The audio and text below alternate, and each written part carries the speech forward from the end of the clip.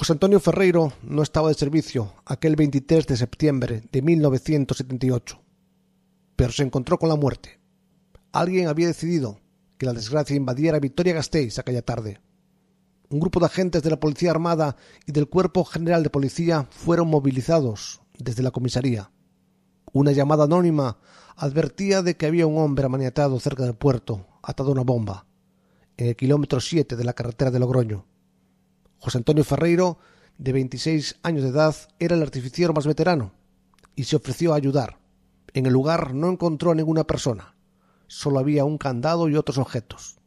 Al retirarse los agentes, hubo una explosión que cogió de lleno a Ferreiro. Murió en el acto y cuatro compañeros resultaron heridos. El capitán de la Policía Armada, que estaba al frente del operativo, Luis Mas, declaró en aquellos días ya había dado orden de que nos retiráramos cuando vi que se agachaba uno de los policías. En ese momento el artefacto y la onda expansiva nos hizo saltar a todos por los aires. Cuando pude reaccionar vi un cráter de unos dos metros de ancho por uno de profundidad. En su interior yacía el cadáver de un número, y a mi lado estaban los policías heridos que habían perdido la vista. Calculaba que se había utilizado en tal fechoría como mínimo dos kilos de goma dos. Estaba todo premeditado, para el horror con la firma de ETA. José Antonio Ferreiro González era padre de dos hijos de tres y un año respectivamente. Había nacido en Ovaladouro, en la provincia de Lugo.